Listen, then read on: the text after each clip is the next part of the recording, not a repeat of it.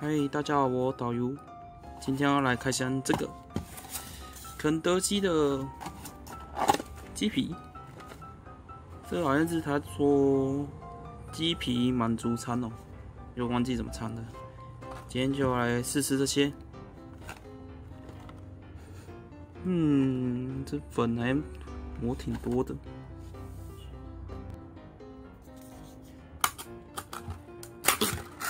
嗯，这吸管大概是现在素食店唯一会有的了。好，先来喝看这杯珍珠奶茶。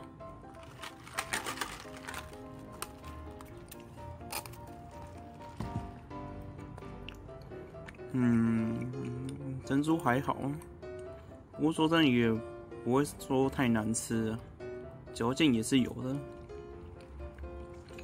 奶茶部分的话。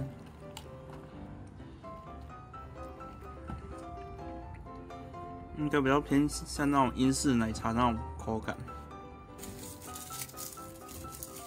嗯，珍珠其实还蛮 Q 的。嗯，接下来吃鸡皮。鸡皮要给各位看一下了，粉多到爆炸，吃的时候小心点。嗯，不过这不知道会不会辣呢？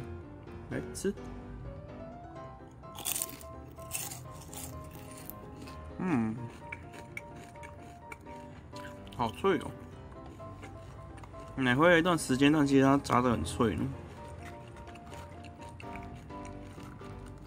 这粉，这粉虽然看起来很多，但其实不会辣，不会太辣，有点麻麻的。蟹皮呀，闻起来很香呢，五香吗？五香的那种口感，来吃一个，嗯，好脆哦，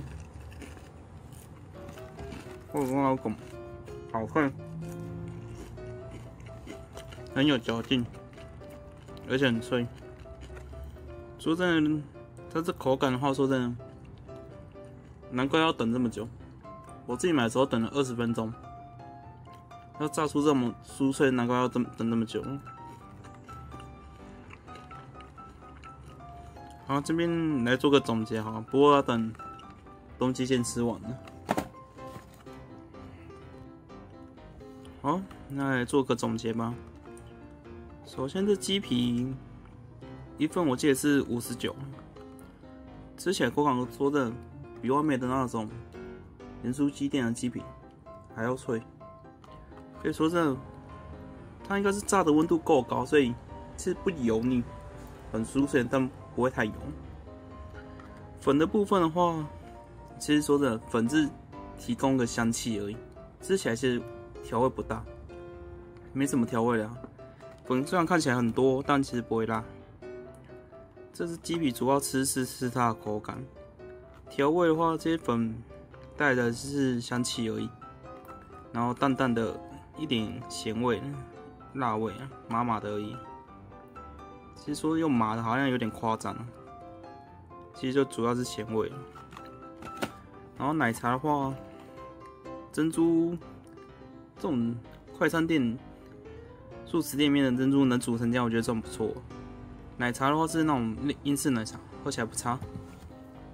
不过这样说真的，一个套餐要九十九。有点小贵啊。